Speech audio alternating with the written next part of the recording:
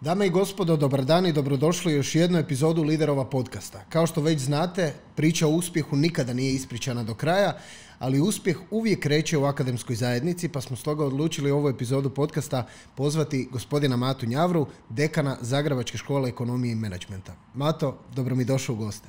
Još bolje te našao, pozdrav Evo, ovaj, pa da ne otkrijemo sve o čemu smo razgovarali prije ovog snimanja, e, kao što ja uvijek volim reći, idemo se mi vratiti na početak. E, danas jesi dekan za šema, međutim e, nisi to cijeli život bio i nisi na kraju krajeva to ni trebao postati. E, odabrao si put obrazovanja to, to, i zapravo s tim dijelom želim i da počnemo. Kako je izgledao tvoj život prije nego što si postao dekan? Pa, Roko, dobar dan, evo, drago mi je da sam danas ovdje s tobom i da imam malo priliku porazgovarati o temama koje su mi bitne i drage. Za odgovoriti na tvoje pitanje predložio bi jednu malu anegdotu a to je prošle godine sam ti bio na jednoj konferenciji u Americi, u Chicagu i to je možda jedna od e, glavnih i e, konferencija iz ovog područja poslovnog obrazovanja na kojoj se ja definitivno moram pojaviti. Znači to je konferencija akreditacijske kuće AACSB, e, čiju akreditaciju Zagrebačka škola ekonomije i menadžmenta ima već od 2013. godine, znači više od 10 godina. Znači to je jedna ono, glavna konferencija na kojoj se kao dekan moram pojaviti i prošle godine kako sam bio tamo prvi puta uživo nakon pandemije, e, imao sam priliku upoznati. To, to je konferencija na kojoj ti dolaze drugi dekani, rektori, baš ono iz cijelog svijeta, svi koji su ili akreditirani ili žele biti akreditirani. I onda često kad me vide ovako drugi dekani i rektori koji su u prosjeku pa neki 50 plus godina, znači sigurno stariji ovako dosta od mene, onda me ovako gledaju i kažu kao ono, what's your story, znači kak si, dosta izgledaš mlado da, da si dekan, koje, ono, kako, kako to objašnjavaš? Ja kažem, pa postoji vrlo dugi odgovor na vaše pitanje i kratki, ali dajte da počnem sa dugim i onda tu ja njima ispričam ukratko svoju priču, da sam iz Zagreba, da sam išao u Kršnjavi, onda u petu gimnaziju, dobro, to njima ništa ne znači, ali, ali meni je bitno da sam nakon srednje škole htio ići negdje vani studirati, a opet nisam htio ići nigdje predaleko, bilo mi je dobro u Zagrebu, ono, volim grad, imao sam dobru ekipu i tako sam našao, tražio sam neku dobru destinaciju, dobro sveučilište ili poslovnu školu, a da je opet relativno blizu Zagrebu i odlučio sam se za uh, talijanski Bokoni, odnosno sveučilište Bokoni gdje sam diplomirao i magistrirao. Nakon toga prvi posao je bio te davne godine uh, e, 2008. U, u američkoj investicijskoj banci Lehman Brothers, taman pred pred akvizicije ono, Pred, da, pred uh, bankrot, a onda ju je akvizirala japanska Nomura, znači europske i azijske operacije preuzela Nomura, tako da sam bio i tamo. Nakon toga uh, sam se odlučio za, za doktorat. Tu sam, to sam pak napravio u Švicarskoj na sveučilištu St. Gallen uh, u Centru za istraživanje Azije, jer sam za vrijeme Nomure shvatio koliko zapravo malo razumijem kao netko koji je prošao ovaj čisti europski obrazovni proces o Aziji i generalno trendovima i društvu tamo i, i poslovnim običajima i kulturama. Vidio sam u Nomuri koliko se ta poslovna kultura jedne tradicionalne japanske kompanije razliku od recimo od jednog Lehman Brothersa koji je bio ono as American as it gets, uh, ono, imao je taj američki DNK u svojoj srži. I shvatio sam, ok, ne znam puno o Aziji, tražim nekakav doktorat koji bi imao link sa Azijom, to sam pak našao eh, u Švicarskoj na sveučilištu St. Gallen, uh, koji je recimo najbolje sveučilište u tom njemačkom govornom području uh, za ekonomiju i poslovnu administraciju i nakon toga sam ovaj, uh, bio godinu dana na Harvardu kao postdoc, iz Harvarda prešao u Singapur gdje sam radio na Singapore Management University, to je njihova pak vodeća poslovna škola. E, četiri godine sam proveo u Singapuru i taman pred pandemiju sam se vratio, vratio u Zagreb i negdje 2021. sam zapravo postao dekan Zagrebačke škole ekonomije i menadžmenta, odnosno za šema. I onda ovi drugi dekani i rektori, onda onako, onda, kad mi ja to ispričam, onda kaže, ok, ajde, dobro, sad, sad, sad razumijemo, ima malo onak, ima smisla. Dobro, ali ko je, ko je kratki odgovor na tvoje pitanje? Ja kažem, pa, you know, my father was one of the co-founders of the university, znači otac je uh, osnivač za šema onda su oni svi onako grohotom nasmiju. Bitno je da, da prvo kažem dugu pa kratku priču, a ne kratku pa dugu. Tako da evo, ima istine u jednoj i u drugoj, da. Ali e, na neki način da ti odgovorim na tvoje pitanje, da, nakon četiri godine Singapura bio sam tamo, e, bilo mi je super, to je jedna ovako e, dinamična regija, grad, jako interesantan, uspjeli su ono čudesa napraviti u, u 50 godina i sigurno je jedno od najzanimljivijih mjesta na svijetu i treba se izučavati iz ono iz, iz raznih kuteva i dimenzija.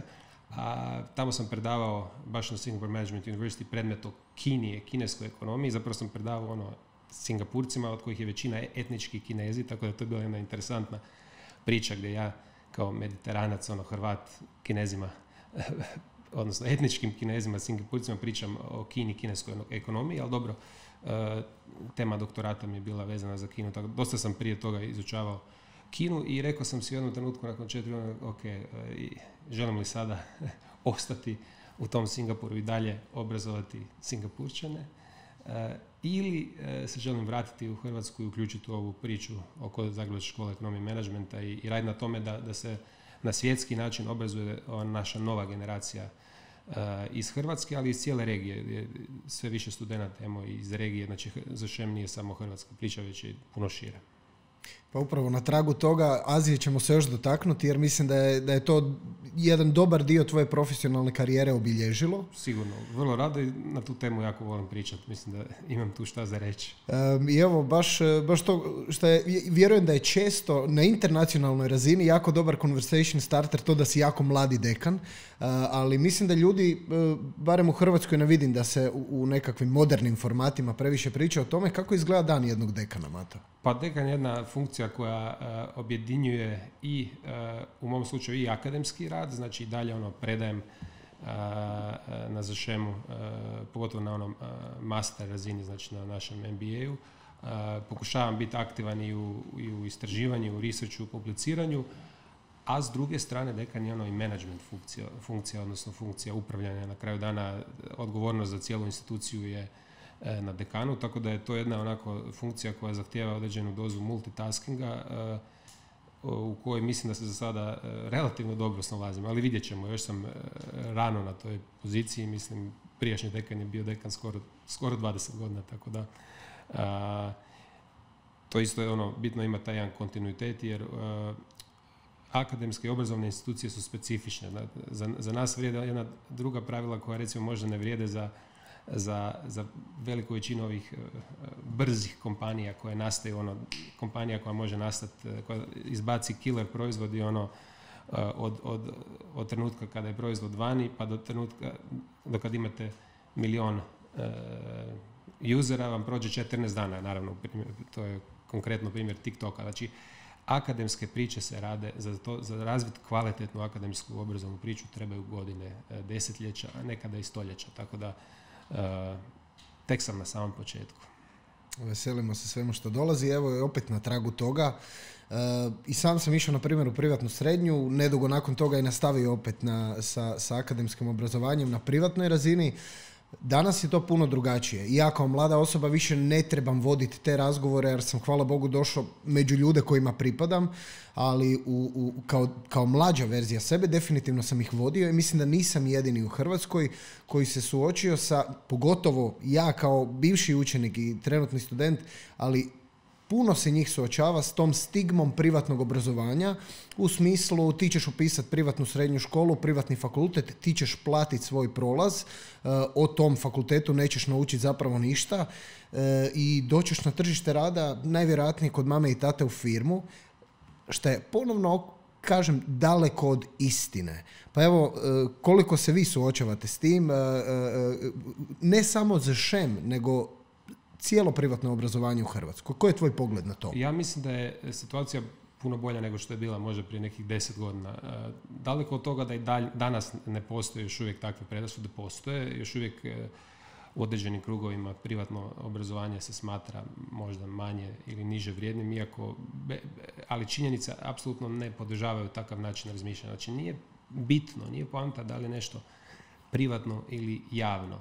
Poanta je da li je nešto kvalitetno ili nije kvalitetno. Kao i u svim drugim sektorima, znači e, kao i u zdravstvu, i kao i u bankarstvu, mislim, jel, jel, jel, držite novac u državnoj banci samo zato što je državna ili držite pak u nekoj privatnoj. Znači, e, doći ćemo i polako dolazimo do toga da se, da, da kao društvo možemo raspoznati e, da nije bitno je li nešto privatno i javno, bitno je li nešto kvalitetno ili nije kvalitetno. U privatnom sektoru ima jako kvalitetnih, dobrih i zanimljivih inicijativa e, u području obrazovanja, a ima i, i onih možda manje kvalitetnih. Isto tako kao u državnom, samo zato što je nešto državno znači da je da je, da je Uber kvalitetno. Generalno hrvatsko državno obrazovanje i školstvo i znanost se ne može baš pohvaliti ono spektakularnim europskim i svjetskim rezultatima. Dovoljno je pogledati e, sveučilište na kojem nam je e, mjestu rankinga. Znači, e, neka regionalna sveučilišta, da ne spominjem sad Ljubljana, ponekad Beograd, se znaju naći na boljoj poziciji po tim međunarodnim rankingima. Znači, nije bitno privatno ili javno, bitno je kvalitetno ili manje kvalitetno. Evo, to je nekako moj pogled na, na, na tu vječnu dilemu koju mislim da, za koju mislim ipak da s vremenom manje postaje relevantna i da više ljudi već razumiju, e, pogotovo nakon ono, u slučaju za šema više od 20 godina rada e, sa više od 4000 alumnija koji su izašli kroz, naš, kroz našu instituciju, koji velika većina danas njih drži onako ozbiljne i odgovorne funkcije. Što u Hrvatskoj, znači nema jače hrvatske kompanije gdje nemate nekog zašemovca uh, u upravi ili vrlo blizu uprave, nema, vam uh, jačeg možda sveučilišta u Europi gdje su naši zašemovci nakon što su završili dodiplomski studij onda upisali magisterij ili doktorat Imamo zašemovce koji su poslije u Americi na najboljim poslovnim školama upisali MBA-eve, znači e, u koji su izrazito selektivni, recimo Wharton Business School imamo zašemovca koji je nakon četiri godine zašema upisao jedan Wharton ili, ili curu koja je doktorirala na HSC u Parizu, koja je ona najbolja europska poslovna škola, pa je sad profesorica u Americi. Znači nema, e,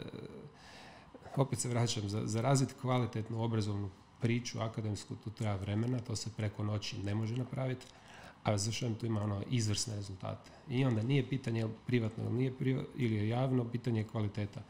A mi na Zašemu znajući da, da treba vremena, da se to razvije onako, držimo jedan ozbiljan standard. Na glasu smo kao institucija na kojoj ono, e, za S kojim nema za frkancije. Pa nema za frkancije. M je ozbiljan program, ozbiljan kurikulum, M se za, za, za bit na recimo dekanovoj listi, to su ovi najbolji koji imaju prosjek iznad 4-5, E, nije lako biti na toj listi, da. E, baš se treba potruditi, tako da evo. Evo, vi ste ozbiljni, a i mi smo ozbiljni, zato što u ovoj fotelji gdje sjediš ti, sjedili su i ljudi koji često dolaze držati predavanje na Zašemu. Evo, prvo kog se sjetim je Luka Glavaš, su osnivač Flastera, pozdrav Luki. I naš alumni, by the way. E, I vaš alumni, tako Naše dijete. ovaj, i opet ja moram reći na tragu toga, e, jer zaista je tako. Evo, Zašemovci, bivši Zašemovci, bili u biti možda uvijek ostaju zapravo Zašemovci. Danas uvijek su, ostaju, to je jedan klub iz kojeg se ne može izaći jednom kada, kada izađeš. Znači, baš brinemo i pazimo onako o našim alumnima, ponosni smo na njih, tako da... Uh, jednom za Šemovac, uvijek za Šemovac. E, to je to. E, ko što si sam rekao, oni su danas članovi uprava, neki su možda možda još ne predsjednici upravo, ali potencijalno imaju šansu. E, da li u Hrvatskoj, da li u inozemstvu, to je nebitno. E, ali e, evo, u zadnje vrijeme se dosta na medijima pasira to pitanje poslovnim medijima što s juniorima, odnosno više situacija nije kao prije 5-6 godina da ona osoba koja studira ekonomiju već na otprilike trećoj godini dobije siguran posao u reviziji, mhm. nakon toga odradi tamo dionicu dvije godine i prebaci se u nekakav korporativni džir ili u consulting svojevrsni. Kako ti gledaš danas na to? E, možda za Šem nije najbolji e, e, primjer toga jer vjerojatno većina vaših studenata nedugo nakon završetka fakulteta ima posao s obzirom na partnerstva koja ostvarujete s hrvatskim korporacijama, ali gledaš li ti to Gledaš li na ti to kao na izazov i nešto o čemu se treba razgovarati? ovako, generalno tema ono, talenta i, i, i odnosno borbe za najbolji talent, to je e, možda jedna od relevantnih tema danas. E, ulaskom u Europsku uniju Hrvatska je dobila e, puno ogromnih prilika. Svi vidimo ono poboljšanja u infrastrukturi, poboljšanja u institucije se s vremenom poboljšavaju, ali isto tako postali smo ono, ušli smo u to ogromno tržište, granice su pale, pun, veliki broj ljudi je, je otišao iz Hrvatske u potrazi za nekom boljom budućnosti ili bar da se okuša negdje vani, neki veliki dio njih će se i vratiti e, kad shvate da vani nije uvijek sve e, toliko bolje nego e, kod nas. Znači tema o, o prikupljanju talenata je iznimno relevantna za današnji kontekst. Mi konkretno, mi nismo jedna ogromna institucija, znači mi smo ipak, mi nismo jedna manufaktura velika, da tako se izrazim. Za šem jedna specifična priča mi jako puno radimo. Evo baš prošli tjedan smo imali taj naš flagship događaj Student Future Day gdje jednom godišnje na kampus dođu sve najjače hrvatske kompanije. Vidio sam na LinkedIn. E, I onda je to prilika za naše studente, a i za kompanije da upoznaju studente, za studente da upoznaju kompanije da vide koje se prilike nude e, i upravo zbog takve inicijative, ali i mnogih drugih inicijativa, e, zbog našeg specifičnog programa i prilika koje e, institucija pruža, velika većina, više od 90% naših studenata imaju poslove već prije samog kraja njihovog studiranja.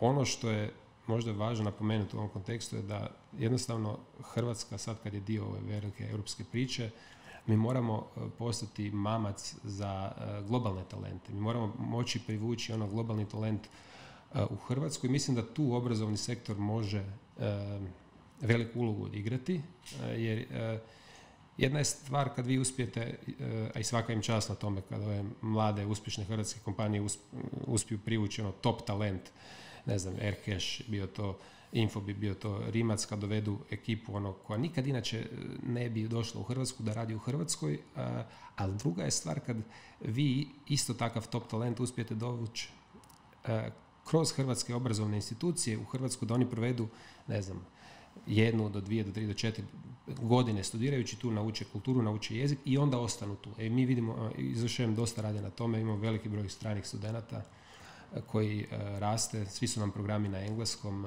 i na hrvatskom i na engleskom, tako da, da sad ti to znaš, ali da dođeš na, na kampus, da te neko tamo teleportira, da se prošetaš po hodniku, ti bi rekao pa gdje sam ja ovo, jer e, ljudi su doslovno iz cijelog svijeta, iz Kine, Koreje, Japana, Južne Amerike, Meksika, ne znam, naravno iz cijele Europe. Tako da, da zaključim ovu misao, samo ono da podvučem crtu, obrazovne institucije, Hrvatska sveučilišta, visoke škole bi trebale i morale moći odigrati veliku ulogu u prikupljanju globalnih uh, talenata. Mi e, to već dosta dugo vremena radimo, ja bih rekao sa, sa dosta velikom razinom uspjeha, evo, što možemo dokazati tim velikim brojem izvrsnih stranih studenata koji onda, od kojih veliki dio i onda ostane poslije u Hrvatskoj i, i radi to, tako da Evo, nedavno nam je baš u Hrvatskoj posjetilo irsko izaslanstvo. Ne mogu se sad sjetiti imena i prezimena ministra pa da ga ni ne dovedem u neugodnu situaciju, ali baš se o tome pričalo, u biti o kvalitetnoj radnoj snazi.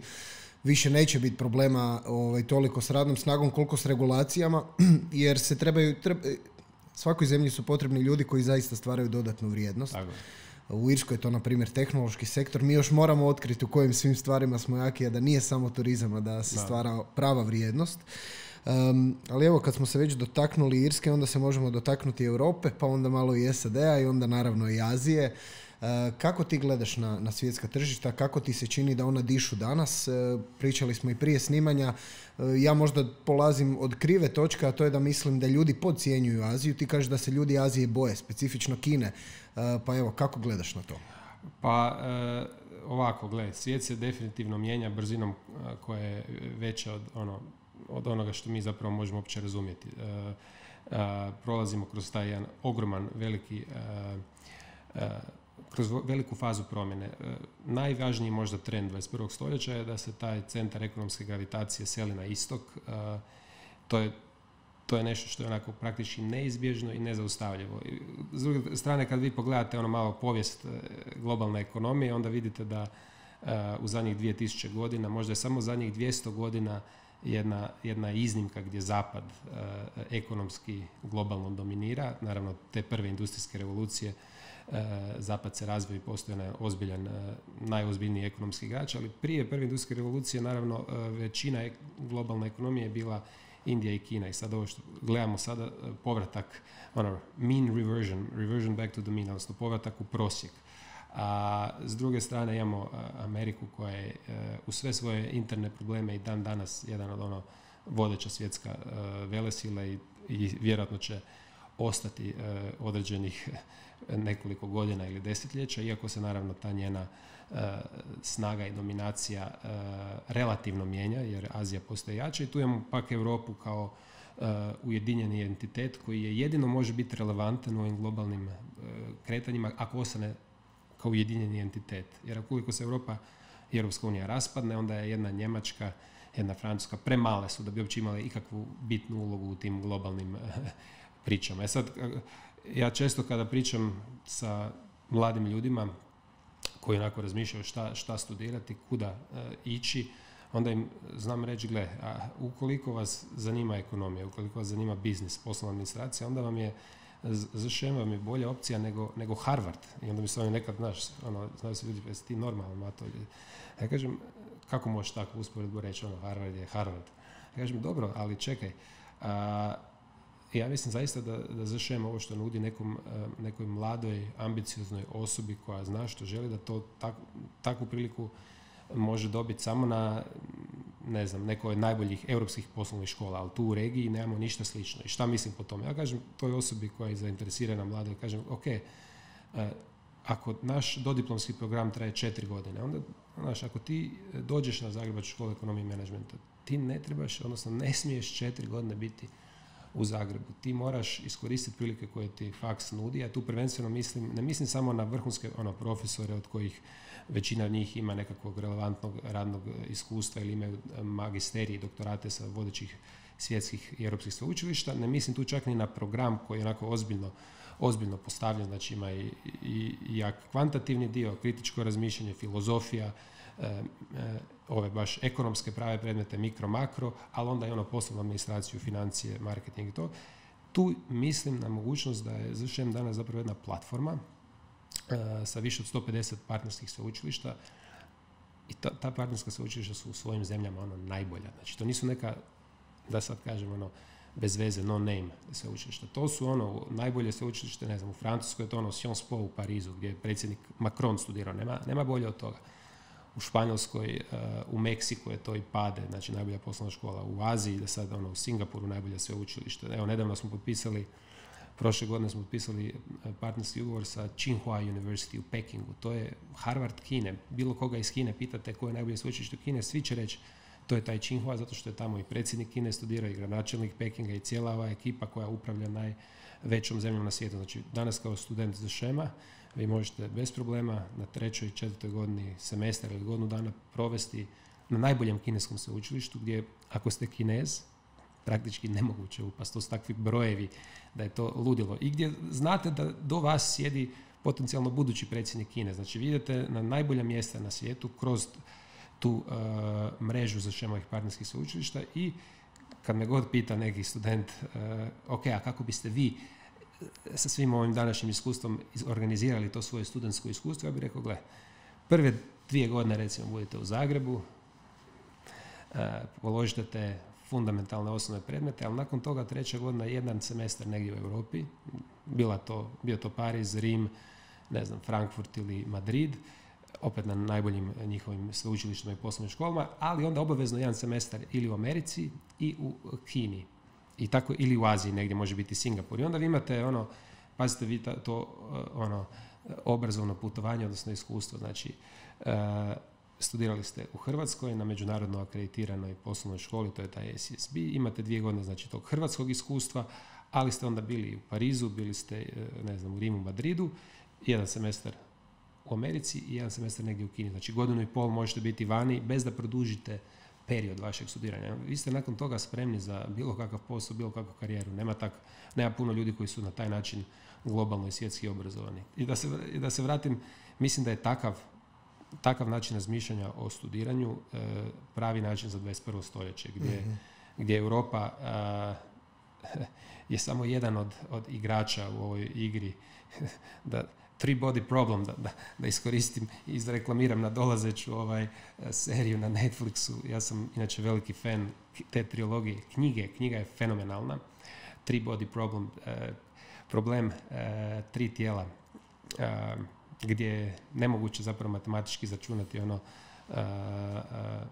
odnose između ta tri tijela. To je ono još jedan od najdavnijih ne, neriješenih matematičkih problema.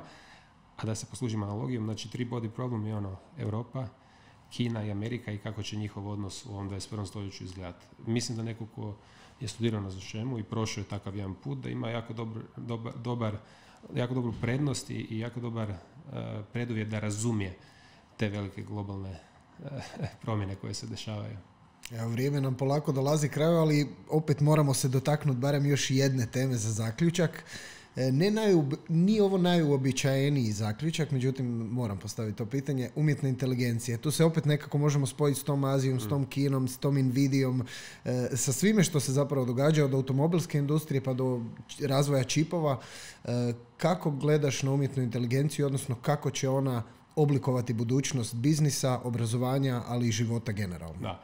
Ovako, živimo u periodu ono, gdje svako malo ima neki novi hype. Je li to bio neki kripto hype, pa neki uh, hype vezano za, za AI, hype, svašta se danas može ishajpati. A kad pričamo o umjetnoj inteligenciji, mislim da to uh, nije hype. Mislim da je to zaista ono, tehnologija koja će duboko transformirati uh, svaku industriju koja danas koja postoji od naravno obrazovanja, ali zdravstva,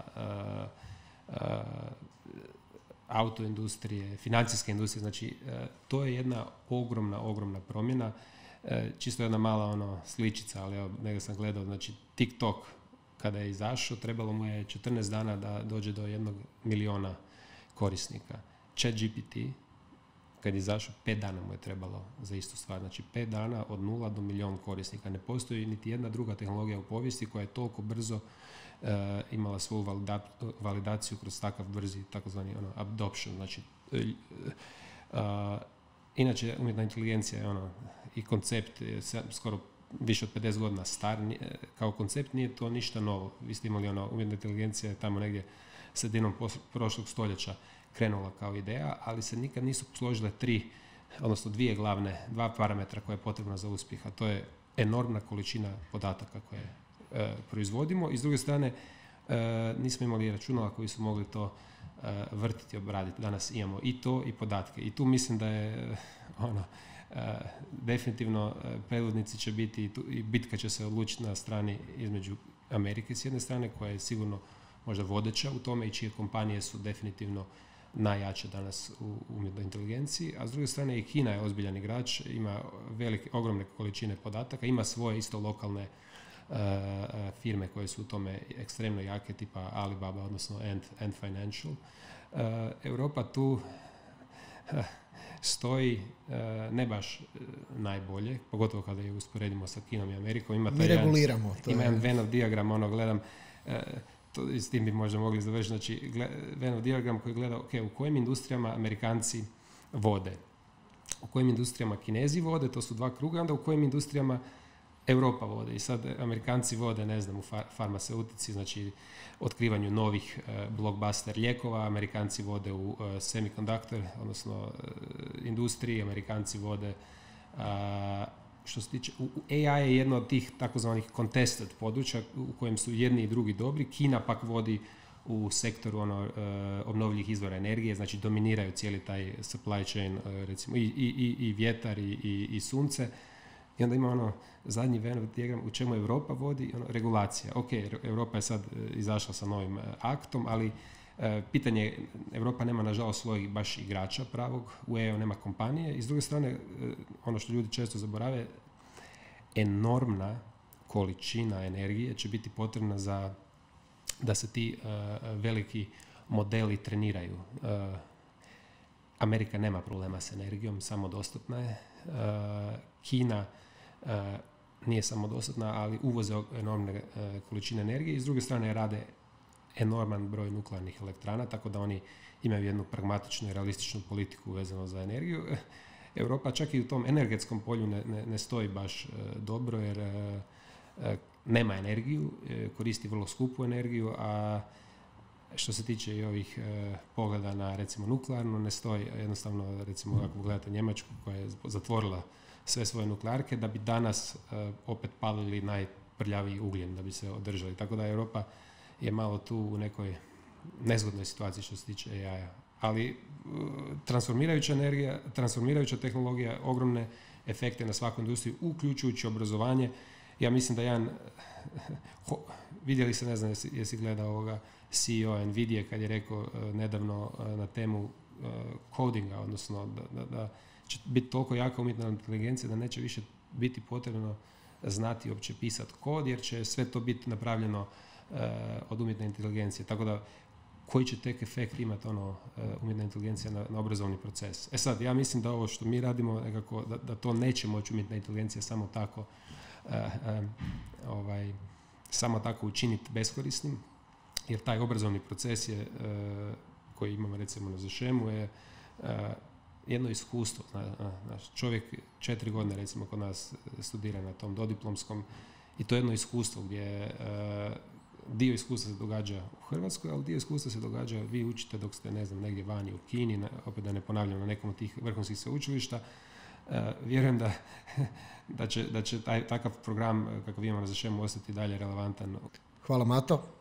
Dame i gospodo, bila je ovo još jedna epizoda Liderova podcasta. Kao što već znate, svaka nova izlazi svakog novog ponedjeljka, a do tada, hvala Bogu, imate što gledati. Bog!